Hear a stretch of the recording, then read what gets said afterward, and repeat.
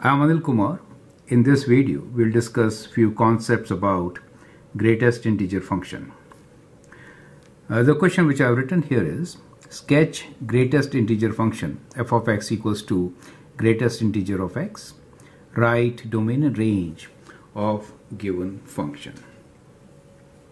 Now at times we also write this um, in this form f of x equals to we have these double brackets kind of thing right so you will see that in the books like this.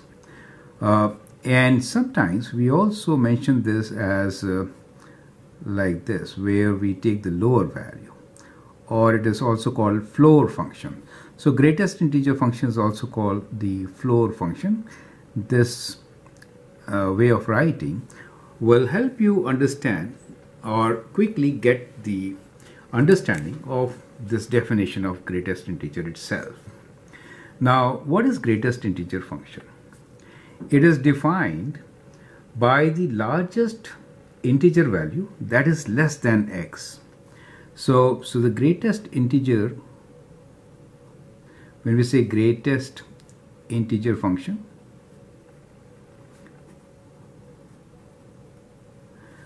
it really means it means the largest integer value less than less than x. So if I say greatest integer function, let's use this symbol. We want to use all the three symbols so that, you know, whenever you're referring to some material, you can correlate. It is the largest integer value less than x. Now what does that mean? Let's take a number line and then discuss that part also. So let's first understand what greatest integer function is and then we'll sketch the graph and do all other things.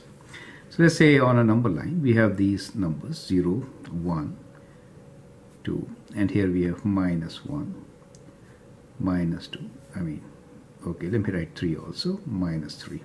Let's say 3. Now, on a number line, anything to the left is less, correct? So if I have a number, let us say a number is 1.2.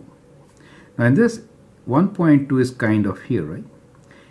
1.2, greatest integer value of 1.2 should be equal to what? It should be equals to integer value, largest integer value less than this value. So that means left side of this, which is 1. Is it okay? If I have a value like 0.5 or let's say 7.5, in that case, the greatest integer value will be 0.75 will be right there. On the left side, the integer is 0, so it will be 0. This is an easy way of checking, right? So if I have a value which is, let's say, minus 1.2, and we want to find the greatest integer function, can you tell me answer for this one? How much is this equal to? Locate 1.2 minus. That is we are slightly here. On the left side we have minus 2 so this is minus 2 remember that part. So it is the left side value. So the greatest integer value of minus 1.2 is minus 2 okay not minus 1 minus 1 is actually bigger than this number. We are looking for less than. This is very important. Less than x. So it is on the left side of the number, right? So that is how we actually define this number. And now with that definition in mind, it's easy to sketch the graph of this function. So let's use this space to sketch the graph, okay? So that is my y, this is x, right? As usual, I'll make very rough uh, sketch and then we'll uh, well, write domain and range. So let's say these are the numbers 1, 2, 3, 4 on this side. Let's say 1, 2, 3, 4.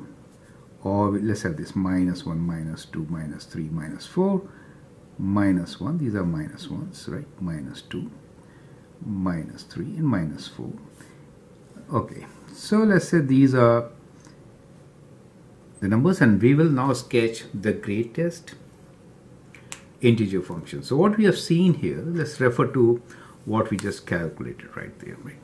So when we are saying a value is between 0 to 1, then on the left side, the, which is less than x, it rounds to 0. The greatest integer value is 0. So on this side, that is filled up, and then we get this as a whole here. Do you see that?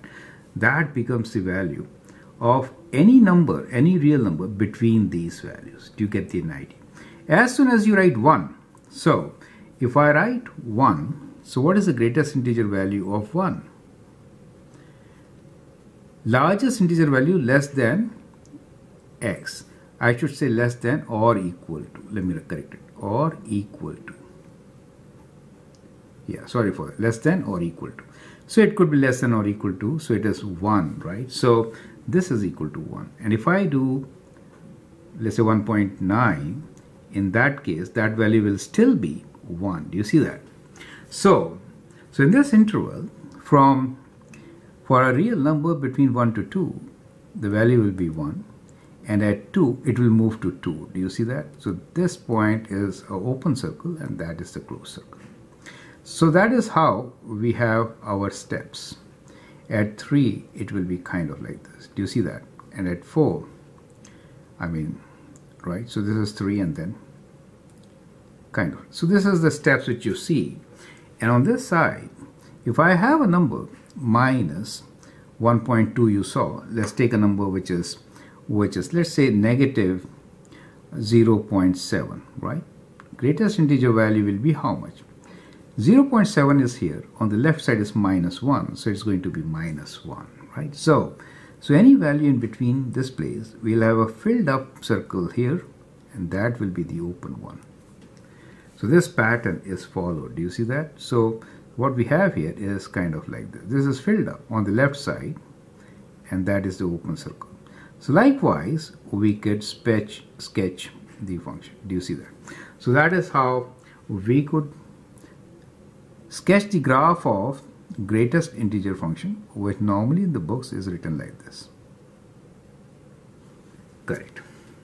Now, from this graph, I think it is simple to write down domain range, right? So now you can pause the video and write down domain range for this function. So, so the domain of this function is, as you can see, all real numbers, right? So x belongs to real numbers.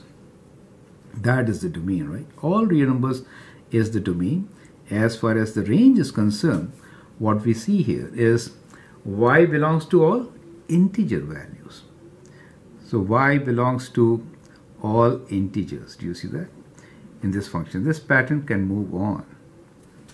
So that is how we can sketch the graph. It is kind of a step function where the filled in circle is on the left side. Right? So I hope that makes a lot of sense. So, so remember this definition is greatest integer function of f of x, x this written like this, is the largest integer value less than or equal to, right? The value of x, correct? So I hope that's absolutely clear. I'm Anil Kumar. You can always share and subscribe to my videos. Feel free to post questions. Thank you and all the best.